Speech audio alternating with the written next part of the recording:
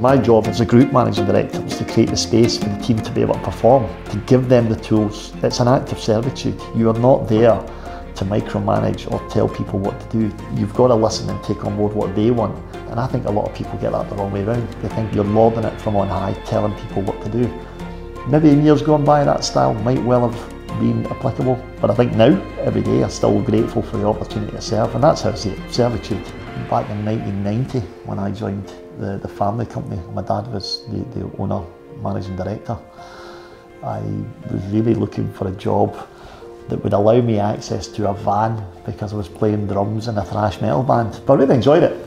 Working in the stores, working in the stock control, doing the delivery driving as well. When everybody's looking at you as the boss's son, there's an expectation that you're bestowed with some privilege, which you are, but uh, I think you have to work that little bit harder to prove yourself and demonstrate that you're not just some little entitled brat coming in to spoil everybody else's fun. My job is as a director, as a group managing director today, I, my job is to create the space for the team to be able to perform, to give them the tools. It's an act of servitude. You are not there to micromanage or tell people what to do. You've got to listen and take on board what they want. And I think a lot of people get that the wrong way around. They think it's a, you know, the, from, you're lording it from on high, telling people what to do.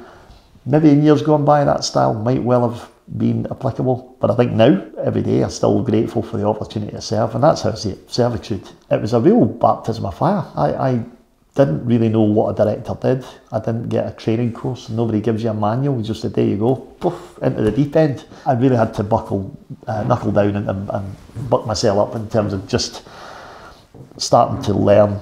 I went back and I did degree, uh, HNCs in, in accounts and bookkeeping um, and business management.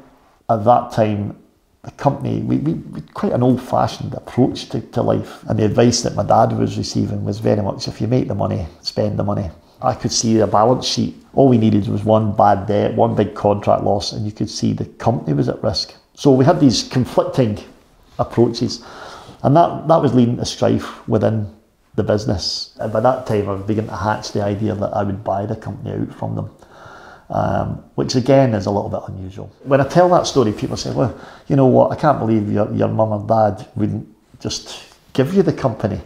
Like, why the hell should they?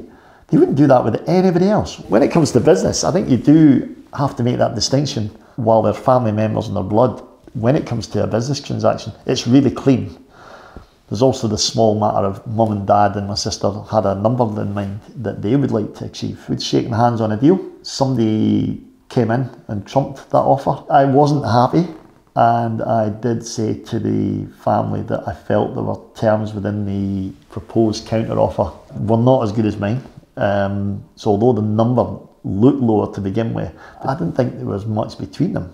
The whole thing got drawn out way beyond where it needed to, in my opinion. I got to an impasse. I, I, I effectively was resigning a guy called Jeff Meek at French Duncan gave me some great advice, and you know he was basically saying, "Look, you're you're about to cut your nose off to spite your face here. I think there's a compromise." And um, what he proposed, I thought was excellent, and it, and it got us over the line. And what what he proposed was the effect was, look, that big hairy headline number that your dad's wowed by, by this alternative offer. The company will be worth that, just not today the funds you can raise are down here, the counter offers up there. Why don't we put it in place that you give them what you can meet right now with the heads of terms and put in an IOU through these class of shares to bridge the gap? And that's what we did. There's, there's no parts of it that are unclear. There's nothing that's fuzzy about the deal. However hard it was, and however much I disagreed with mum and dad probably at that time, actually the, the sensible thing was to do it that way. So I think being clear with families what the expectations are.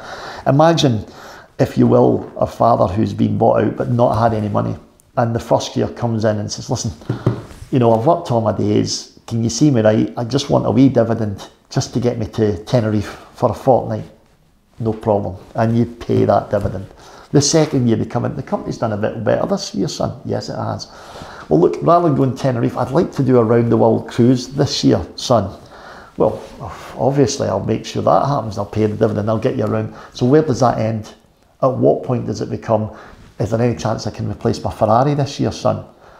and you're continuously and perpetually held over on this situation where they're neither in nor out the business, and you neither own outright the business or in full control of what you need to do with that business. And I think that's a valuable lesson for any family, whether it's father, sons, daughters, uncles, brothers, whatever. Having a clear exit strategy with your family members, a clear succession plan. And that's the other, the other piece of advice is I had a very clear exit plan when I came in.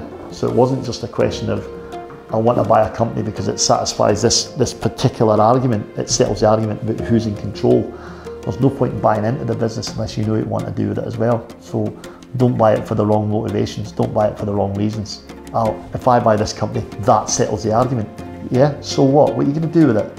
And that comes back to that point Jeff Meek made, which is why are you cutting your nose off to spite your face? Do you want this or not? Because this is actually how we're going to get this thing over the line, if you want it. If not, off you go.